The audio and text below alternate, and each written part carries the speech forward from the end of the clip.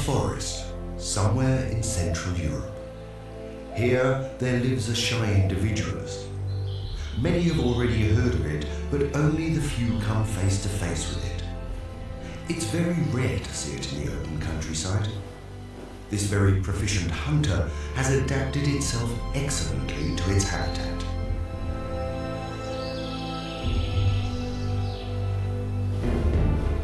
The northern goshawk. For many, the embodiment of the term bird of prey. Probably no other bird in Europe is disliked, ruthlessly hunted, and killed as they. But what is the goshawk's actual role in the bigger picture within nature? What makes birds of prey such unique and fascinating hunters of the skies?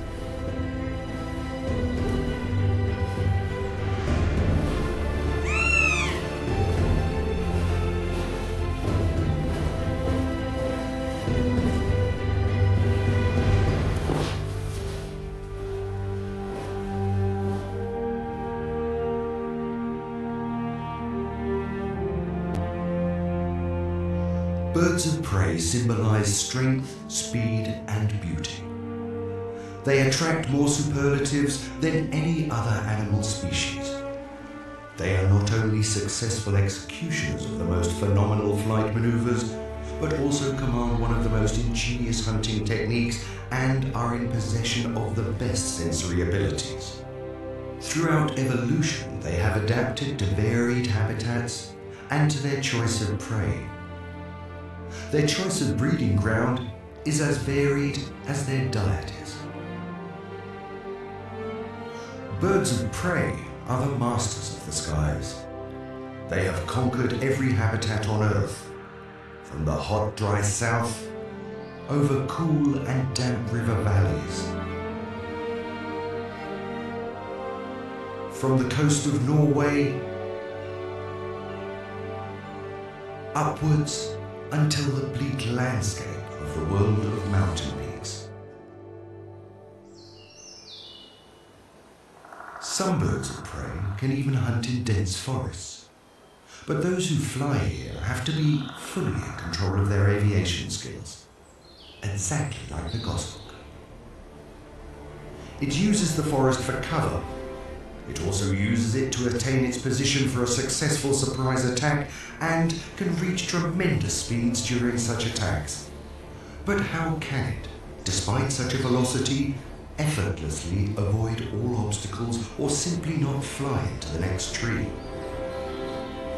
One possibility is the shape of its wings.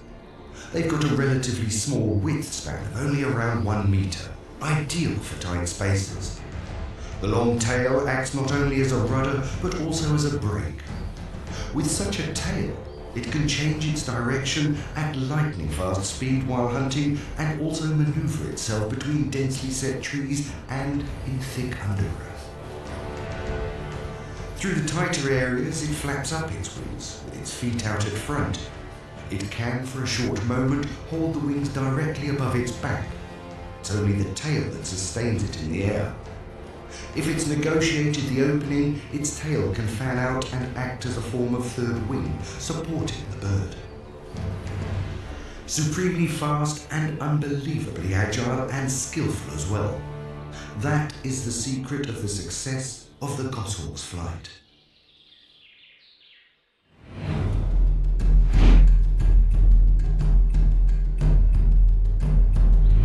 The goshawk's entire body is geared up for hunting.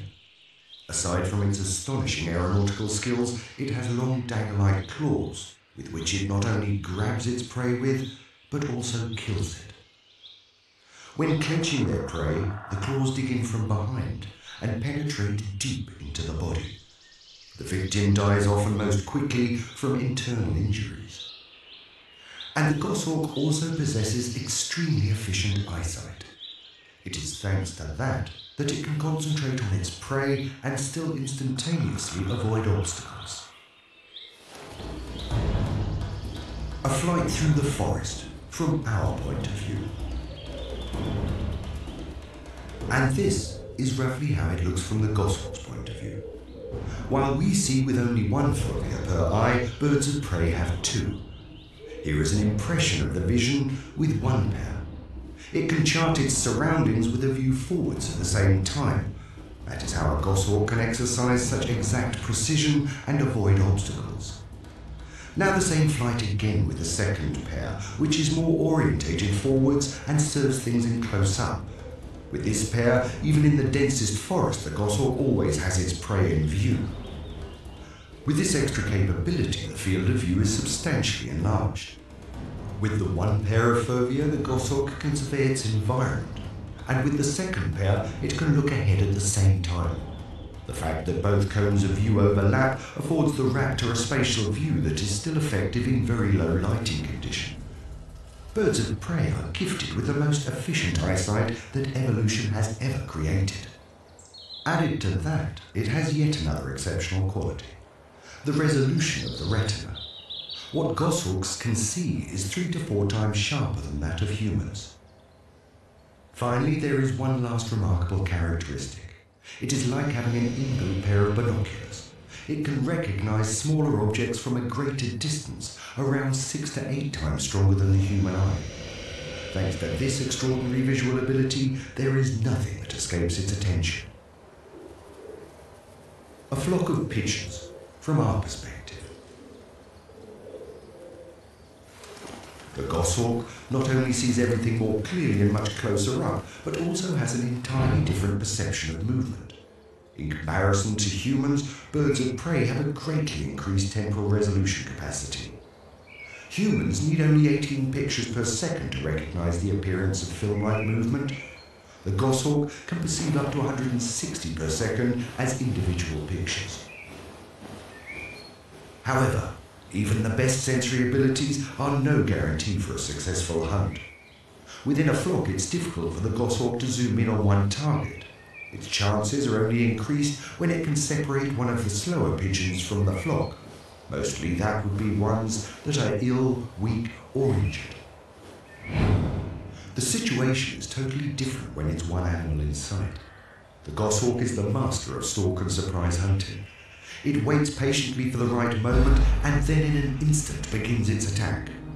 The goshawk will strike anything that it can overpower. Its spectrum of prey can range from a mouse to a rabbit, from smaller birds to a goose.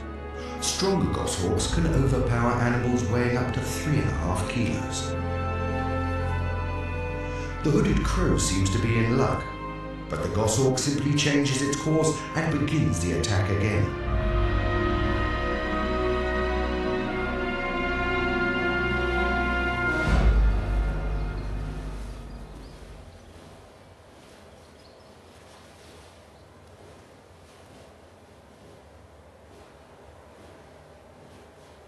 Now the same scene again as we would see it. The entire hunt is over in a fraction of seconds.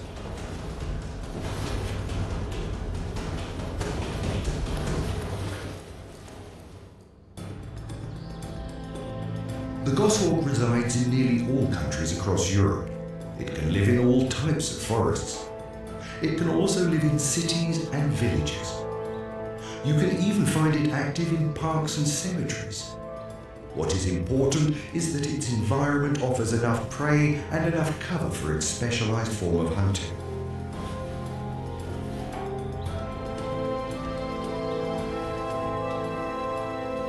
For this reason, its preference is for diversified forests that aren't so densely populated and offer easy access to open countryside, fields, meadows, and moors.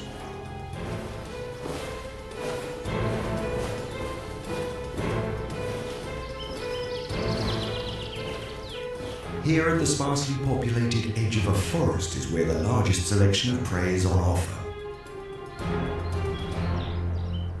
In contrast to many other birds of prey, the goshawk's breeding grounds are mostly found deep inside the forest. What's important is that it has a corridor of approach to the nest. The nests are most commonly found in large old trees at a height of 20 to 25 meters above ground. The male bird is responsible for provisions. The female feeds the catch bit by bit to the hungry nest of chicks. When the chicks don't need constant care and are more self-sufficient in taking the prey apart themselves, the female will also go out on the hunt.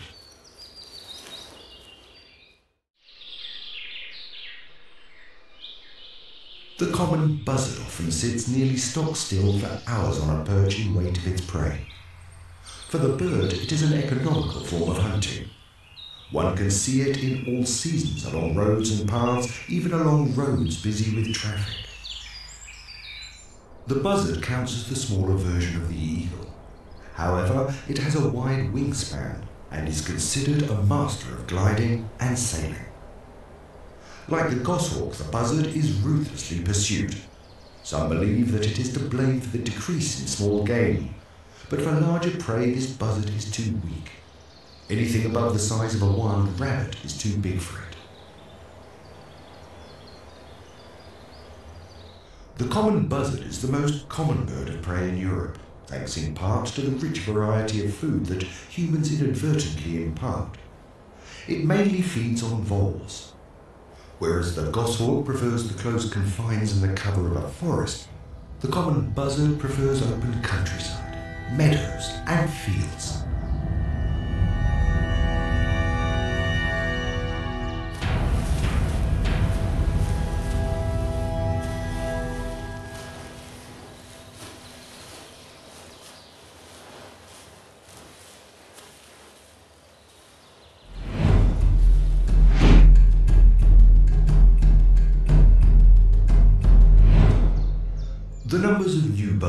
Changes significantly from year to year.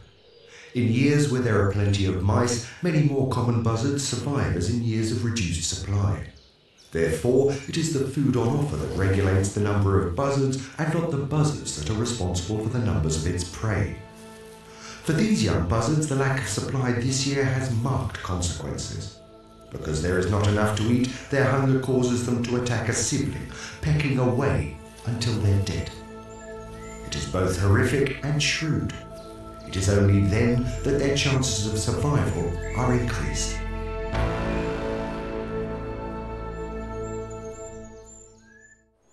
The northern sparrowhawk is the smaller, more streamlined version of the goshawk.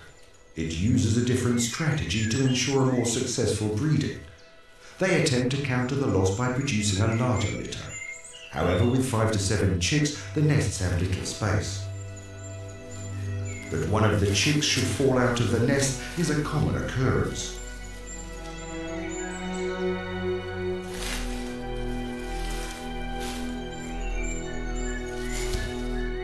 The chick has managed to survive the long drop. However, a chick that has lost the protection of the nest is in big trouble. The parents will not worry about a chick that has fallen out. Alone and helpless, it has no chances of survival on the forest floor.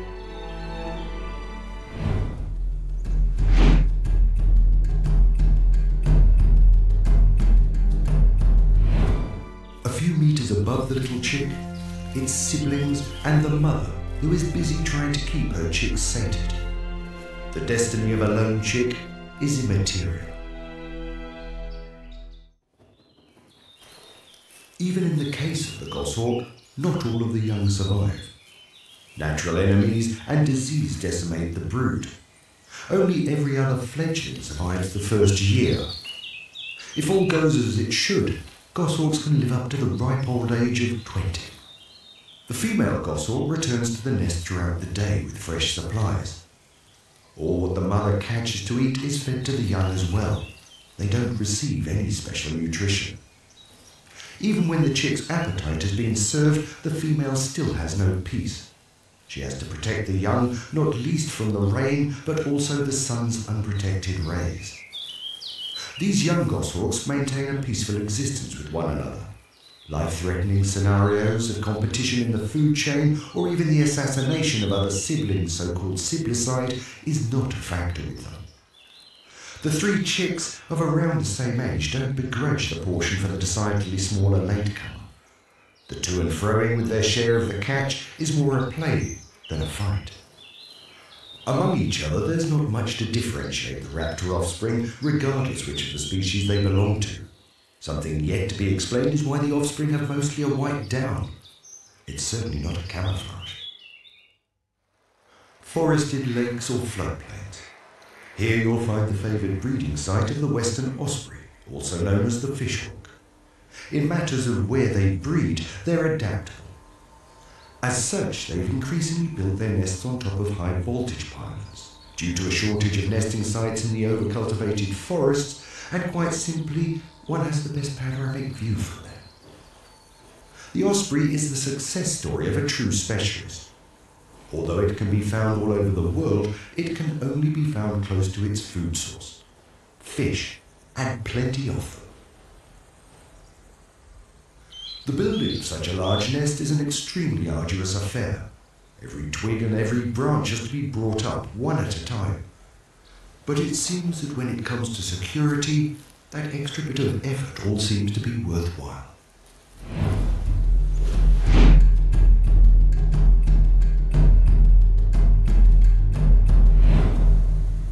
Osprey pairs usually breed once a year. Artificial nests are gladly occupied. The proximity to the power line seems of little concern, and mating at such a heady height is a balancing act of the highest order.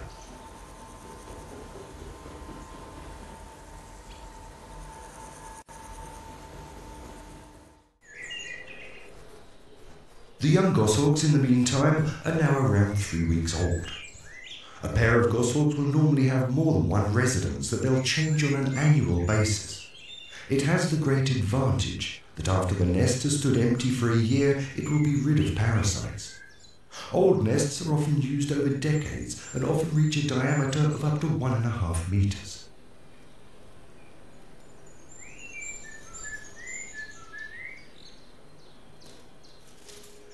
Even the young goshawks learn to keep their nursery tidy from an early age.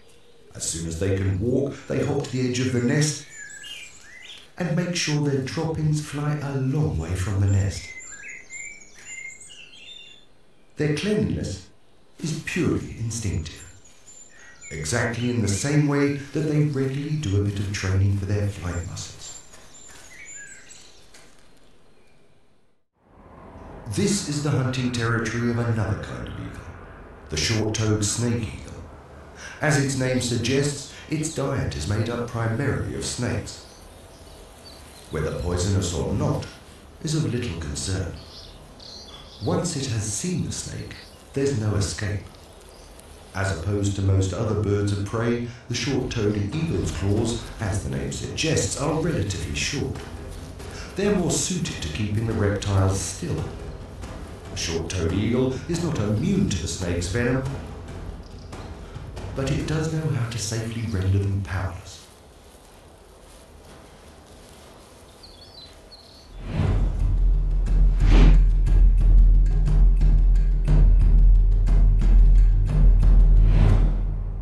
The nest of the short-toed eagle can lay up to 10 kilometers away from its hunting grounds.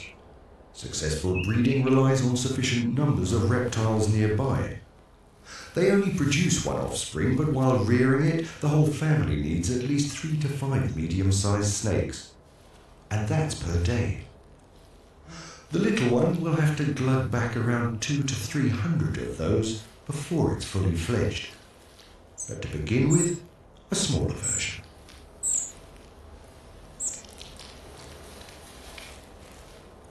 And if it should be that the mother has overestimated a little, she's always on hand to give a little help gulping it back.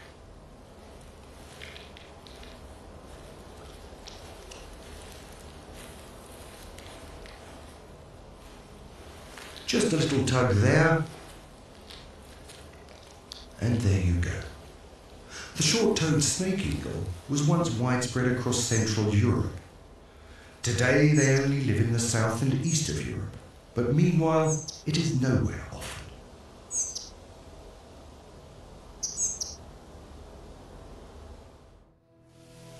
Expansive plains scattered with islands of trees, sometimes a lone mountain range as well.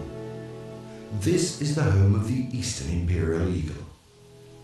It breeds from Central Eastern Europe to the south of Russia. Similar to the goshawk, it has two very distinct hunting techniques. Either it will circle in the sky before plunging down on its prey, or it will sit very still up high and lurk until the right moment.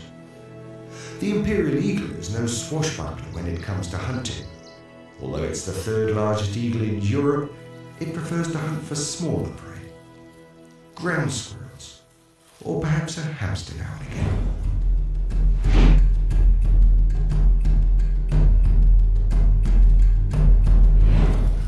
These ground squirrels are quite oblivious to the danger they're in. But the roof of this deserted house offers this young eagle a commanding view of the surrounding terrain. Nothing escapes its attention from its vantage point. Patiently, it waits for the right opportunity.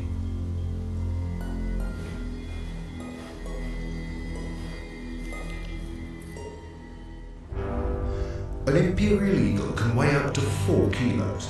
As such, every hunting attack is a major effort. With a powerful beating of its wings, the eagle accelerates into its descent.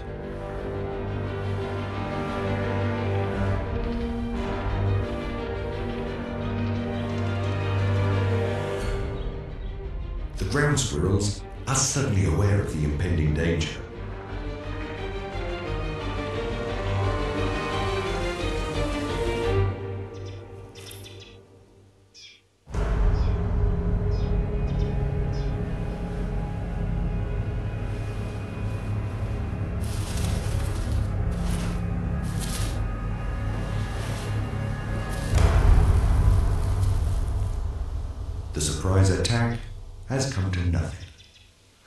Eagle will have to put in a bit of practice.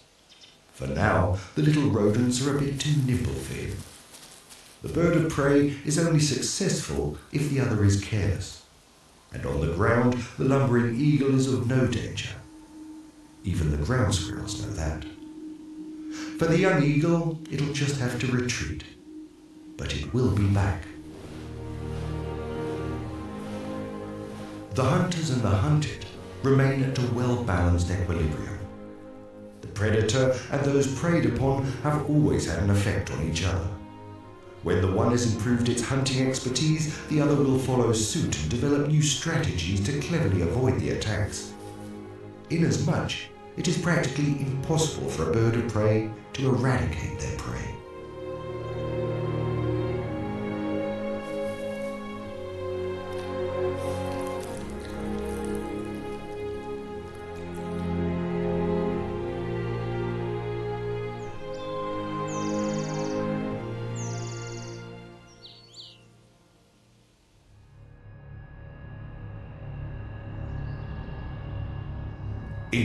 Comparison to the talents of this bird of prey, the other eagles of Europe are moderate hunters.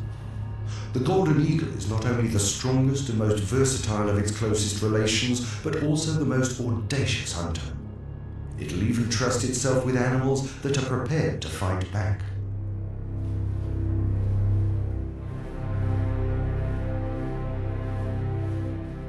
And so it is with a young fox, which sits so defenseless.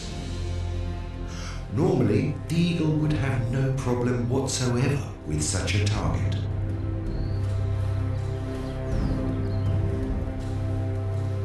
Foiled. And when on the ground, the golden eagle is at a distinct disadvantage.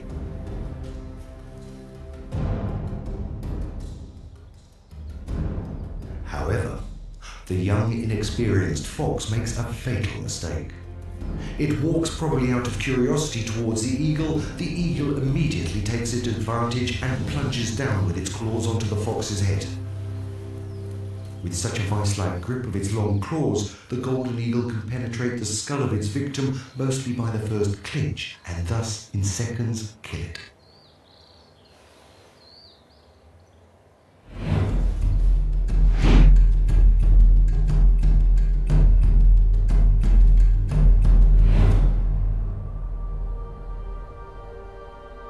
Alps are the kingdom of the golden eagle.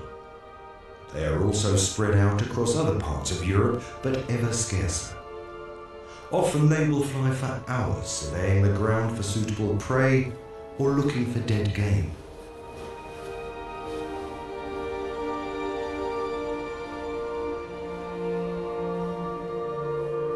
The golden eagle mostly sails or glides over the steep slopes. The wider the wingspan, the lighter the body of the bird, all the better for carrying heavy weights. In the case of the golden eagle, it is built in perfect proportion. Its wingspan can reach up to two meters. They're wide and long and perfectly suited to hoist and carry the eagle over wind currents.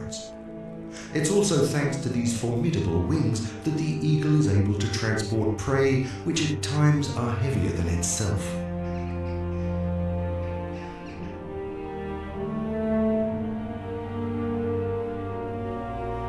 From a mouse to a chamois, few of the mountain creatures are safe from it.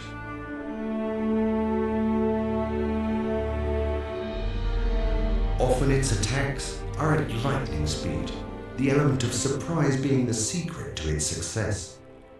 The golden eagle has caught out many an alpine marmot by such a tactic.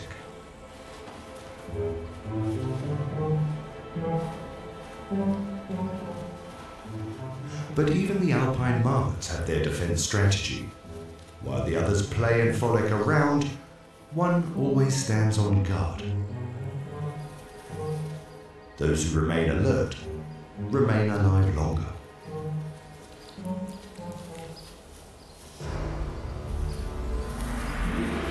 While hunting, the golden eagle can reach speeds of up to 160, even 190 kilometers per hour.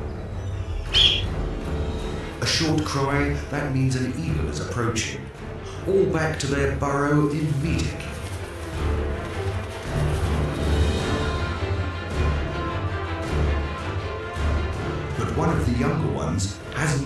Signal.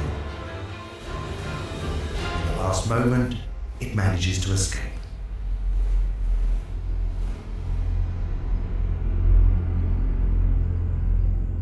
Whereas the golden eagle hunts its prey primarily by circling the skies, the goshawk uses alongside the surveillance flights another hunting technique. It sits and waits until something edible flies or hops in front of its beak. Nevertheless, even the goshawk needs an element of surprise for a successful kill, for it is neither the fastest nor the strongest native bird of prey.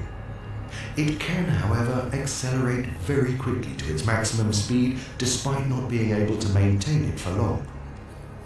If it doesn't manage to overpower its prey within the first couple of hundred meters, it'll probably give it up for lost. Less than 10% of its forays result in success.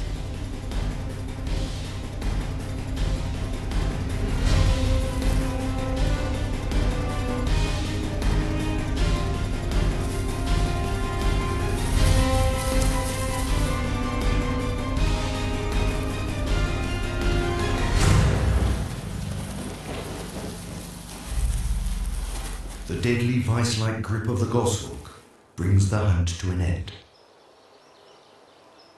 In a pristine carr with wet meadows lives the smallest eagle in Germany, the lesser spotted eagle.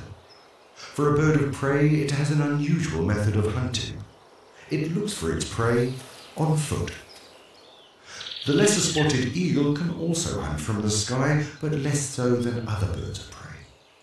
On forest meadows and on the edge of the river banks, it moves around like a stork and covers great distances on its long legs. Just such a grass snake would be wonderful. But it doesn't feel so safe with this fully grown specimen.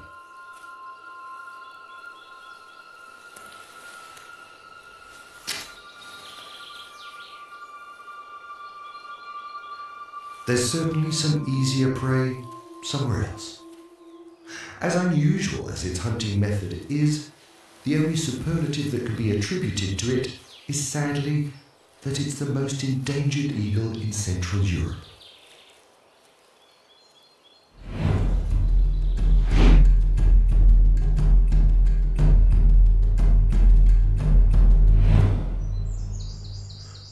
Spotted eagle has very high standards for its environment that today in many areas is not adequate. As such, the number of lesser spotted eagles breeding in Europe is decreasing year after year. At present, there are only about 100 couples remaining in Germany. More intense deforestation, fewer forest glades, and more drainage. With every human intervention, the habitat of the eagle diminishes.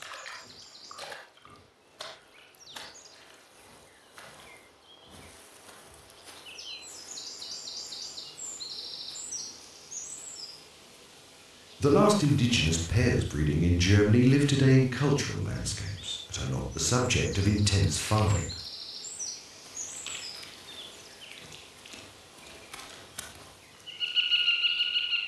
And if life wasn't difficult enough for the lesser spotted eagle, this marsh harrier wants his share as well. The harrier constantly harasses the eagle.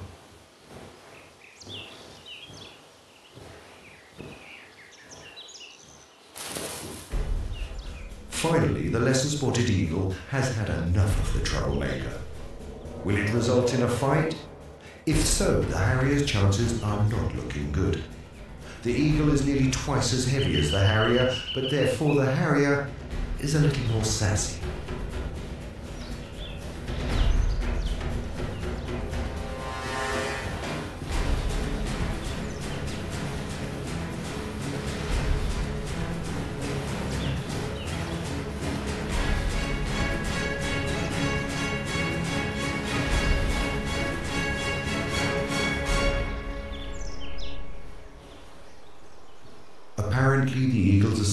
That it just wants a bit of peace and heads off into the wilderness. And the harrier finally gets its prey. In a landscape where there are small clusters of trees and the meadows are bordered by deciduous forests, there is another bird often in search of nourishment which has the most unusual hunting method of all the other birds of prey the European honey buzzard. This large bird feeds itself, amazingly enough, mostly on insects. The larvae and pupae of wasps and bumblebees make up the largest part of its diet. To get to them, it digs them out.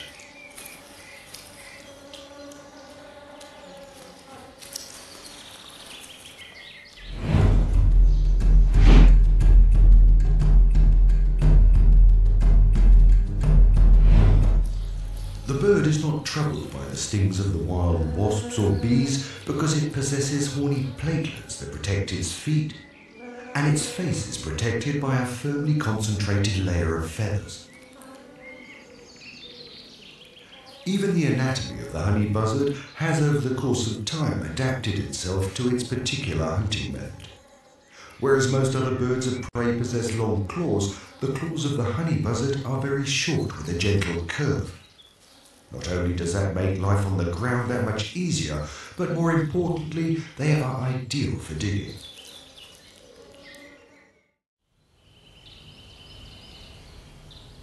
The hunting grounds of the goshawk are the borders of the forest. From its perch within the cover of the trees, it surveys the surrounding countryside and waits for potential prey.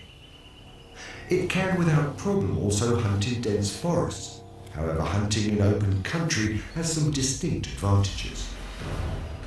Firstly, the visibility here is paramount, and there are no obstacles to impede the hunt. And secondly, the victim has no easily available place to hide, leaving them more or less defenseless for the entire flight route.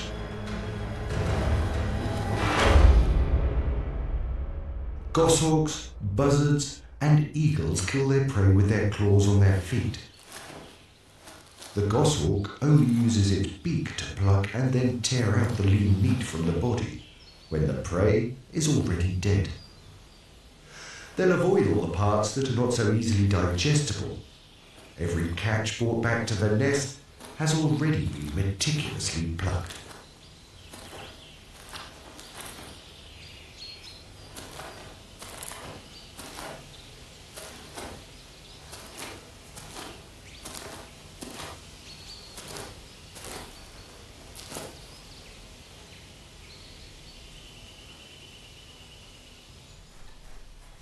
For the young goshawks, there is little distraction in the nest. As they get older, they'll train their flight muscles more frequently and more intensively. Later, it will be imperative for their survival. However, most of their time is spent sleeping, waiting, and sitting around idly.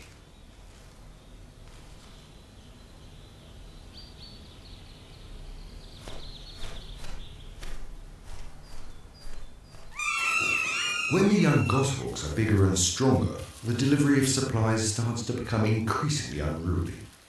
Sometimes many hours will have passed between feeding times, which means that the offspring are very hungry, and it's every man for himself. Here is where the claws come into action and where the feathers begin to fly. The adult birds sometimes only stay for seconds, throwing the prey into the nest before taking straight off again.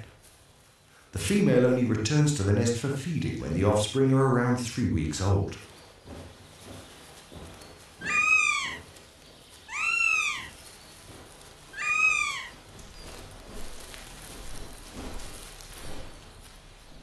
However, even when the young ones are alone in the nest, the parent always has an eye out. The danger that an enemy will take advantage is too great.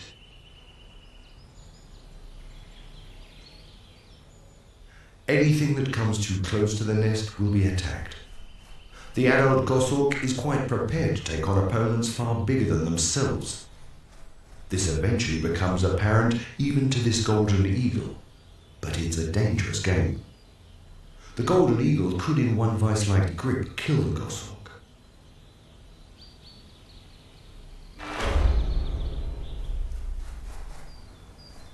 But the goshawk has the advantage. It is much more agile and faster. Again and again it swoops down on the larger eagle. It only ceases its attack when the eagle withdraws and the danger for the offspring has been averted.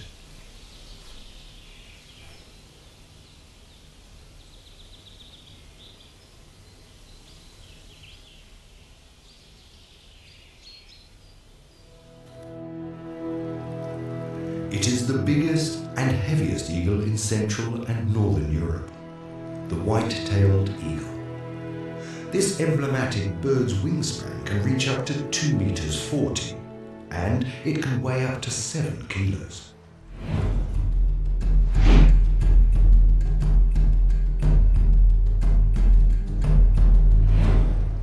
Their population across Europe also dramatically declined until the middle of the 20th century. Thanks to extensive protective measures, the situation has now significantly improved. Today there are more sea eagles breeding in Central Europe than for the last 100 years. Nearly half of the breeding pairs live on the coast of Norway, and thus in an environment of extreme climatic conditions. However, here the bird can find a secure spot to build its nest in the calm forests along the vastness of the Atlantic and the extensive open countryside.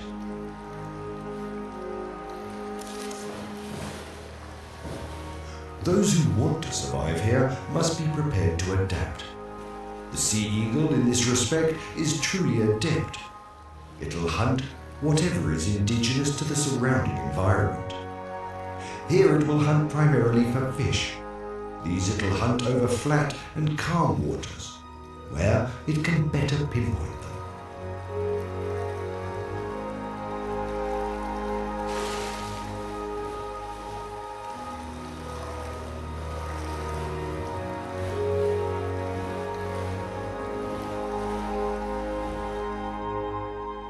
Although a breathtaking backdrop, high up in the north and on the rugged coastline of the Atlantic, it doesn't always remain so romantic. Above all, when the fog rolls in from the sea to the land.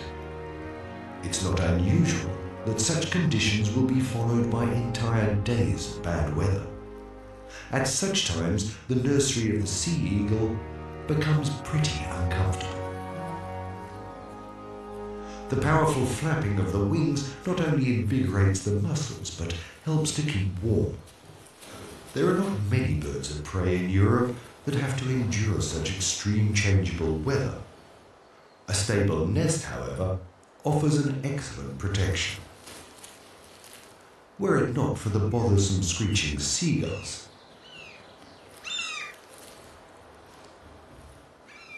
Above all, when the adult bird brings its catch back to their nest. Considering the pesky troublemakers, the female doesn't remain long in the nest. She throws the food in and quickly takes off again. The young eagles will have to deal with the grumblings of the neighbours on their own.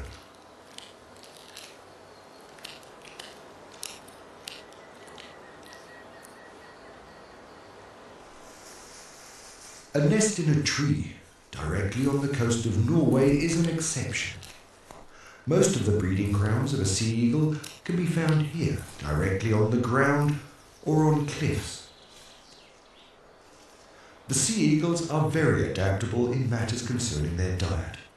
Mostly they'll hunt fish and waterfowl. Mammals make up only a small part of their diet and are mostly carrion. Which species will be hunted depends on what is on offer locally and what each season offers up. For now, during the rearing of the offspring, fish will play the major part of their diet. The young have already learned that their large beaks will only serve them well if regularly cleaned.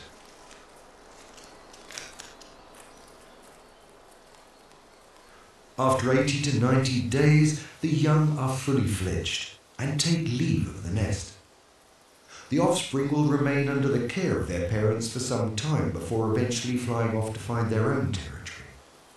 Whereas the adult birds usually remain close to the breeding ground for the entire year, the young roam far and wide and eventually leave.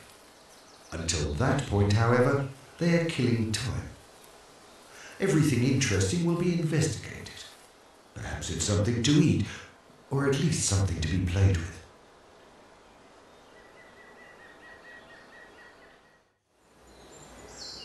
Back to the forest of the goshawk. Much has happened in the nest. The young ones will certainly soon leave the nest. In contrast to the adult birds, the young goshawks have another colouring. They've got a red tint to their underbelly with black spots. Before they'll leave the nest, they'll have to do some intensive flight muscle training. It will be vital for their future.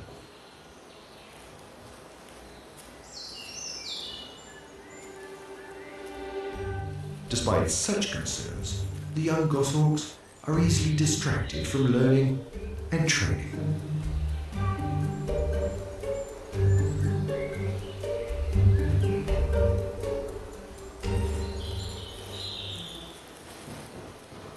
Now, at an age of between 40 to 45 days, they'll make their first attempts to branches close by. They will spend most of their time sitting on other branches close to the nest. They can't as yet fly properly and therefore will remain for a further four weeks and continue being cared for by the parents. The young ones always stay close enough to the nest so that they can get back quickly. For now, one or two of them are still a bit shaky on their legs. Over the course of time, the distances will increase until neighbouring trees can be reached with a hop and a flutter. Their flight muscles during this period are constantly being trained so that their early leaps develop into short flights.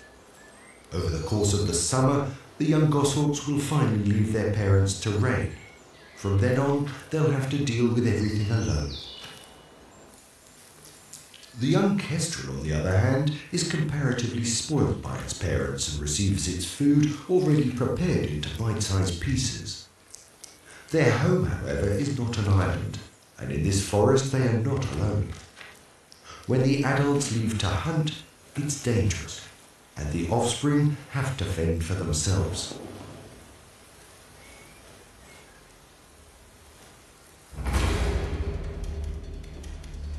However, what returns is certainly no kestrel, but instead a young, very hungry goshawk.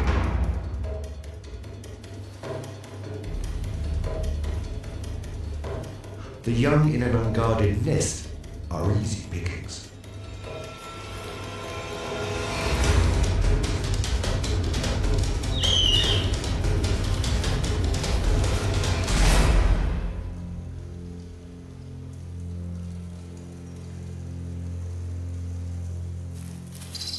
Birds of prey have no inhibitions to kill their fellow species. What can be overpowered will be better. The goshawk is more than capable of taking the offspring of other goshawks from a foreign nest and then feeding them to its own. It is only their own offspring that will be spared. The kestrel has noticed the attack.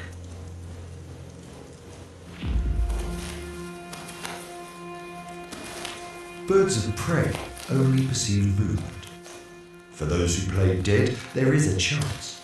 But in this case, the young goshawk kills one after another.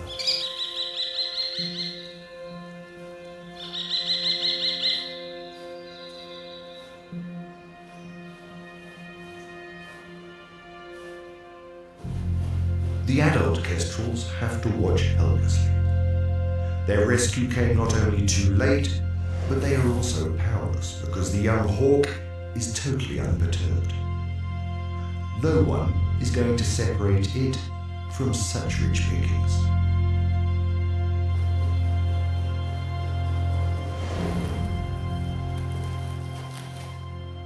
At the end of it all, only one young kestrel has survived.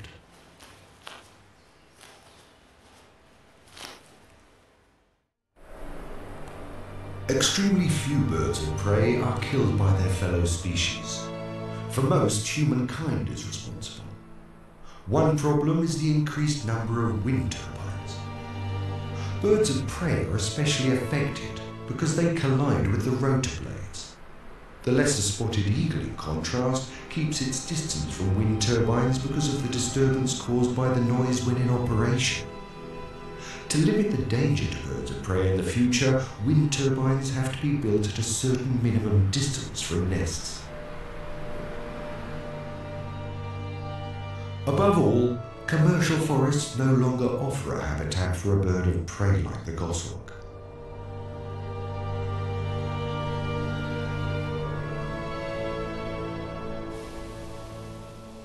Monocultures are neither a habitat for the hunter nor the hunted. What's here for a bird of prey to hunt? Which prey is meant to still live here?